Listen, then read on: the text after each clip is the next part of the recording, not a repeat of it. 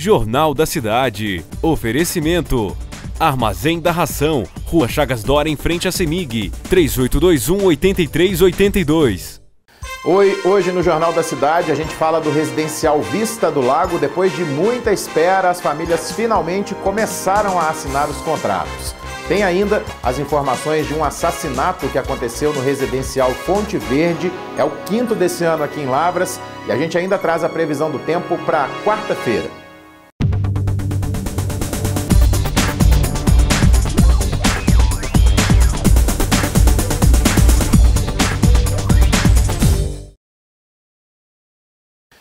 A gente começa o jornal de hoje com a notícia de um assassinato que aconteceu lá no conjunto residencial Fonte Verde. O corpo de Robson Alexandre Carvalho, de 26 anos, foi encontrado numa casa abandonada. Segundo as informações da polícia, ele tinha ferimentos na cabeça e no rosto. A mãe da vítima contou para os policiais que esse rapaz tinha dois desafetos. Agora, a Polícia Civil está investigando o caso. Esse aí foi o quinto homicídio de 2017. E agora a gente fala do programa Minha Casa Minha Vida, as 400 famílias que conseguiram uma moradia lá no residencial Vista do Lago, aqui em Lavras, finalmente começaram a assinar os contratos. O processo está acontecendo na sede da Secretaria Municipal de Desenvolvimento Social, que fica no Jardim Europa. São 400 famílias que foram beneficiadas com as unidades do residencial Vista do Lago. Ele está pronto há dois anos e só agora é que os contratos estão sendo assinados. Sim, na verdade essa demora vem de gestões anteriores, né? Porque esse conjunto habitacional ele está pronto desde 2015. Então, quando nós assumimos em janeiro, tivemos alguns fatos novos que foram denúncias de irregularidade na seleção das famílias.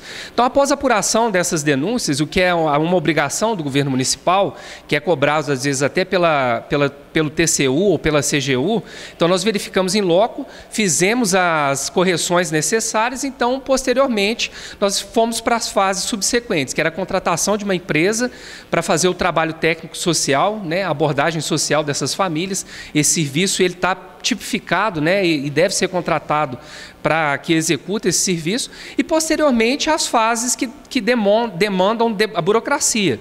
A seleção foi feita através do programa Minha Casa Minha Vida. Os contemplados têm dois dias para assinar o contrato de financiamento e a entrega das chaves deve acontecer ainda este mês. Isso ainda no mês de junho nós vamos conseguir. Nós estamos aguardando a liberação do Ministério das Cidades, que é uma fase que é importante, que precisa da liberação desse órgão. Hora de saber da previsão do tempo e ele começa a mudar a partir dessa quarta-feira. Uma frente fria vai derrubar as temperaturas aqui na região até domingo. A mínima na quarta-feira deve ser de 15 graus e a máxima de 28. Não chove e também quase não venta. As rajadas chegam a apenas 2 km por hora. Umidade do ar na casa dos 62%. Gente, o jornal de hoje acabou, mas você pode ajudar a fazer as próximas edições. É só mandar uma sugestão de reportagem, fotos ou vídeos para o nosso WhatsApp. O número é 98806 Até amanhã!